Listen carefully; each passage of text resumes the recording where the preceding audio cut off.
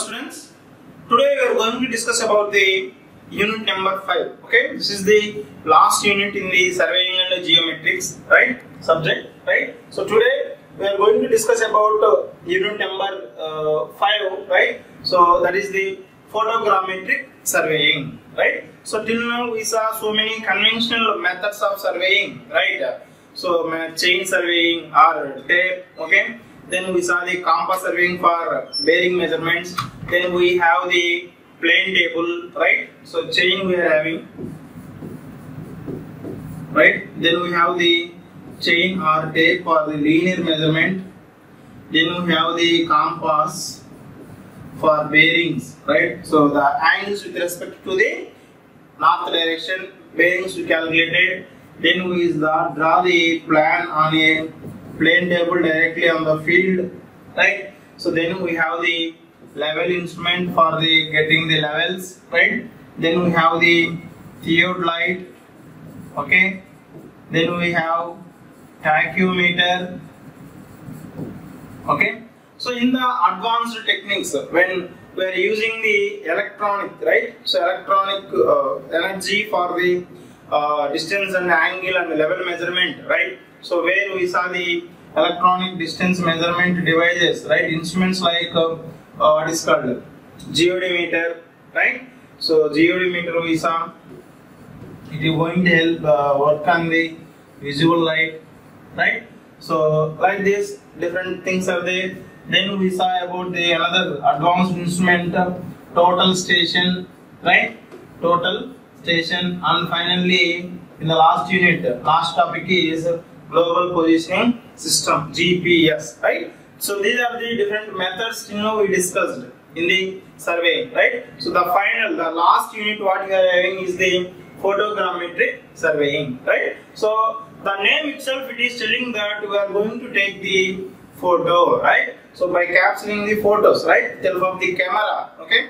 So if you want to uh, survey some pop, what is called area, no? So that area is going to be captured with help of the photos okay? So if it is a small area, one single photo is enough. If it is a small area, one photo is enough, right? So if it is having so much area, no, so our camera cannot able to uh, capture all the area. Even it is captured by one single photo, but we can't get the uh, features on that particular field. It is clearly, okay? For that, right? So if this is the whole area, right? What you have to do now? We have to take this area of photo, this area one photo, this area one photo, this area one photo. You just plan accordingly uh, for how many photos you need, right? So like this, everything will be taken with help of the different photos, right? So finally, if you are arranging the all photos like this, okay? So total uh,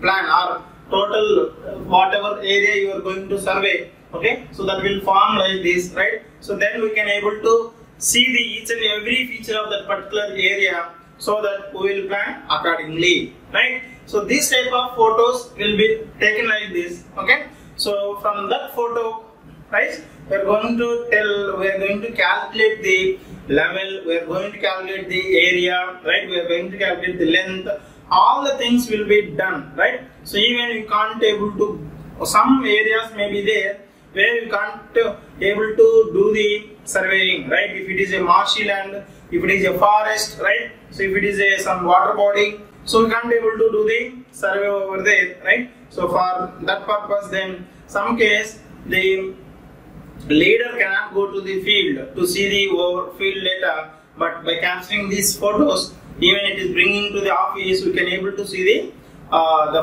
land very clearly, right? So this is these are the advantages of this photogrammetry. So photos grammetric surveying. We are going to take the photos, right? So we are getting the photos for the surveying purpose. Okay, where surveying is used. Surveying is used to know the distances. Surveying is used to know the directions. Surveying is used to know the elevation, right? So and uh, based on those values, we are going to plan our plan. We are going to execute our plan, right?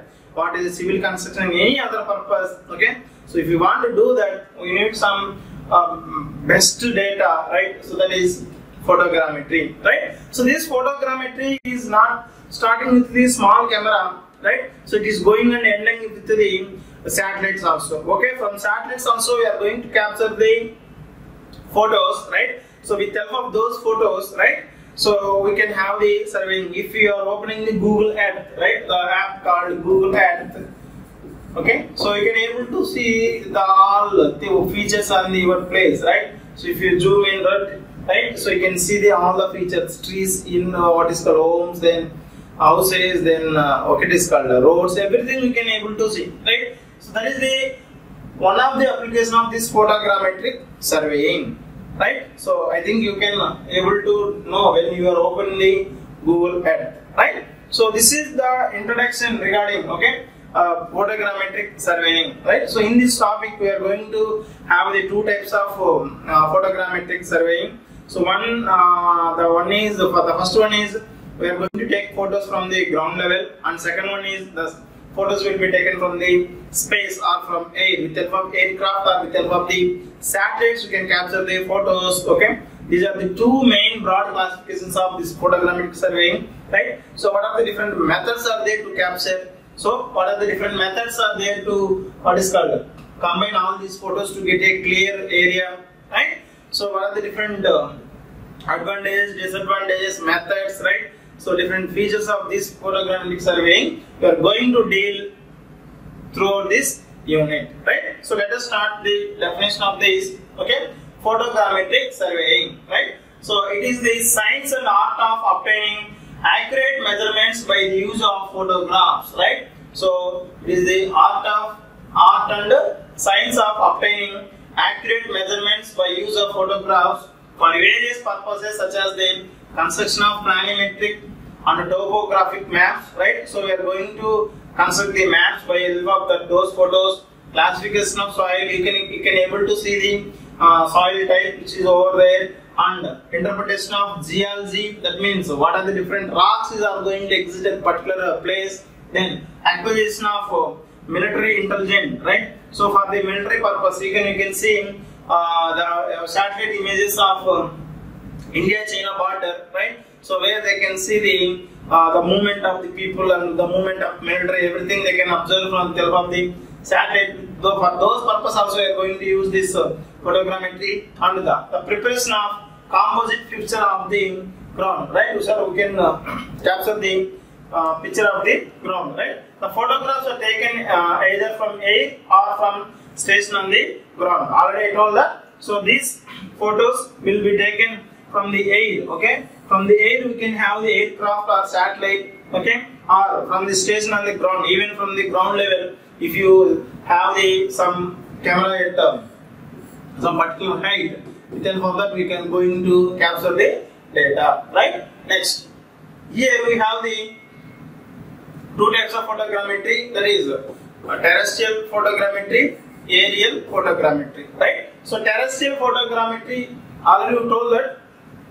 photogram photos can be taken from either from ground or from the air suppose if you are taking the photos from the ground that kind of photography is called photogrammetry is called terrestrial photogrammetry. It is the branch of the photogrammetry where the photographs are taken from a fixed position or near the ground, right? So it is a having the fixed position on the on the ground. Okay, so near the ground we have a fixed position that is called terrestrial photogrammetry. Next, second one is aerial photogrammetry. It is that photogrammetry wherein photographs are taken by the right camera mounted in an aircraft flying over that area, right? So it is the fixed to the end, but uh, here the photographs will be taken by a aircraft, right? So the photos will be taken by a aircraft, okay?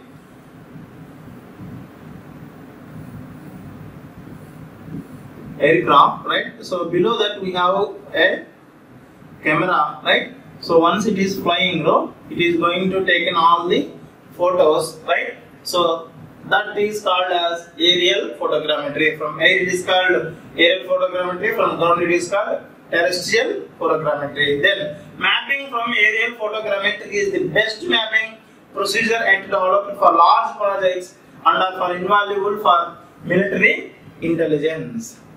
Right? So for the uh, military intelligence, then as well as the it is a large project, right? If you want to construct a big dam, right, big reservoir, okay. So if you want to do the areas for the kilometers together, but with photos you can't able to from the ground you can't able to get the all the data, but with help of helicopter or any aircraft, they are going to take the photos and you can um, what is called uh, survey the total area very easily. So that is the best advantage with the aerial photogrammetry, right? So the major uses of aerial mapping methods are the civilian and military mapping agencies of the government, right? So normally for any, if you want to find out what are the different crops or the sown by the farmers in that state or country, or what are the different types of soils, what are the different types of rocks, okay? So to get all these things government agents will do. And next to the important thing is army people they can go for the look over the wherever the um, other countries army is located right? So the first thing we are going to discuss about today's class that is terrestrial photogrammetry okay? The principle underlying the method of terrestrial photogrammetry is exactly similar to that of the plane table surveying, right? So here the principle behind uh, the terrestrial photogrammetry is exactly similar to the plane table surveying. That is, if the distance of the same objects photographed from the two extremities of measured base are known, their positions can be located by the intersection of two rays of the same object, right? So if I am taking a uh, photo from here, okay, over this area, right? So one thing is there one thing is there right? Like this regard then i took another photo from this position. Exactly this. Whenever you are getting intersected no? So intersection method is there in the plane table no? Like that we are going to locate the point okay? By taking two uh, discals but the same object from the two extremities okay? By the intersection of that we can locate the uh, two same object location right? Next. However the difference between this and plane table is that more details are at once obtained from the photographs and then subsequent plotting is done by the office while in the plane table all the detailing is done in the field itself right? So what is the major difference? Even principle is the same but in the photogrammetry terrestrial photogrammetry you can take photos in the field and you can go to the lab. There you can do the plotting. But in case of plane table you have to cite you have to plot everything you have to finish in the field itself okay? So if you want to check it again it is not possible. Again you have to come to the office to the field right? So but help of the photograph uh, no need to come back to the field to check the features. Whatever features you captured no everything is there on the photograph even by sitting at office okay? So you can work on it and you can plot the maps right? Or plans right? Next the terrestrial photogrammetry can be divided into two branches. The first one is plane table photogrammetry. Second one is terrestrial stereo photogrammetry. Okay. So let us see one by one.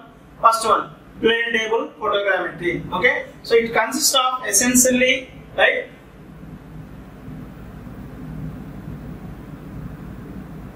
It consists essentially in taking a photograph of the area to be mapped from each of the two or three stations, right? So we are going to take one photography from A station, another photography from B station, okay, another photography from the photograph from the C station. By combining all these three photos, we are going to develop a map, right? So the perpendiculars may be oriented at any angle to the base, but usually from a acute angle with the later, right? So perpendiculars has to be oriented like this. The main difficulty arises in the identification of image points in a pair of photographs. Okay, some difficulty is there. Okay, so to identify the correct image. Next, in the case of homogeneous area of sand or grass, identification becomes impossible. Right. So if were nothing is there, only sand is there, only grass is there. If you took the photos from the three locations or five locations, right? So you can't able to judge, right? So where uh, that identification and okay plotting orientation will be very difficult. Okay, next. The principles of stereo photogrammetry, however, produce the remedy, right? So now, uh, this, whatever the difficulties are in this method, this is will be overcome by the next method that is terrestrial stereo photogrammetry principle okay now due to considerable improvement of accuracy obtained by the stereoscope measurements of pair of photographs the camera base and the angles of intersection of the datum rays up to the points where measured can be considerably reduced since the camera axis of two stations exhibits great similarity to each other right? So here what we are going to do now? We are going to obtain the stereoscopic measurement of pairs of photographs. So everywhere we are going to take the two right? So two photographs so the camera base and the angles of intersection of the datum rays right? So camera base will be there at one point right? So and the angles of intersection of the datum rays to the points to be measured can be considerably reduced since the camera axis at two stations exhibit great similarity to each other right? So here what you are going to do now if you are taking the uh, photograph from these two stations right? So that uh, two stations photograph will exhibit the similarity to each other if the similarity is there we can easily plot the data right? So the image points which are particle parallelically displayed relative to the each other right? So in the two photographs are fused to a single image. Since both are same now they can fuse into two photographs. Will be fused into one photograph okay by the stereoscopic measurements okay? So you no need to study uh, analytical behind this right? So up to this we can the regarding terrestrial photogrammetry. Next we are having the second method very important remaining unit is going to covered with this right? So that is called aerial photogrammetry. Okay so here there it is the science of deducing physical dimensions of object above the surface of the earth from the measurement of aerial photographs of the object okay? So that photography is can be taken by the aeroplane or helicopter right? So the biometry is used for the highway recognition so environmental preliminary design and geographic information system that is called GIS right? So this is all about for today's class right? So today's class we saw unit number 5 right? Where we have the photogrammetric surveying right? So what is the need of this photogrammetric surveying right? So we have two types of photogrammetric surveying uh, where we are going to take photos of uh, places and uh, survey area and we are going to plot the maps and the plans right? So here based on the uh, position of your camera if we it may be on the ground either maybe on the air so we have two types of uh, photogrammetric surveying. The first one is if you are taking photos from the ground level so that is called terrestrial photogrammetry. If you are taking uh, photos from the air with help of the helicopter aircraft that is called as the aerial photogrammetry. Okay? So in the next class we are going to see the, the principles and everything regarding the aerial photogrammetry. Okay? So that's all for today. Thank you